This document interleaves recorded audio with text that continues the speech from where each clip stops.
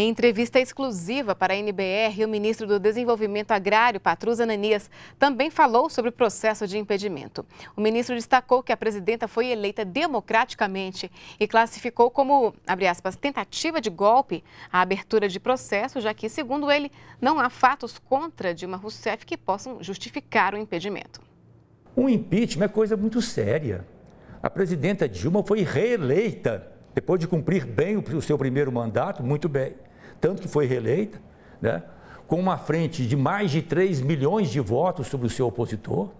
Então, a, vontade soberana do povo manifesta nas urnas é fundamental para o Estado democrático de direito que nós conquistamos com a Constituição de 5 de outubro de 1988 e que nós precisamos preservar, inclusive para gerações futuras. Então, isso me parece perigosamente uma tentativa de golpe de Estado, que é depor uma presidenta legitimamente eleita, pessoa idônea, com a biografia da maior dignidade, por razões outras, que não uma questão jurídica específica.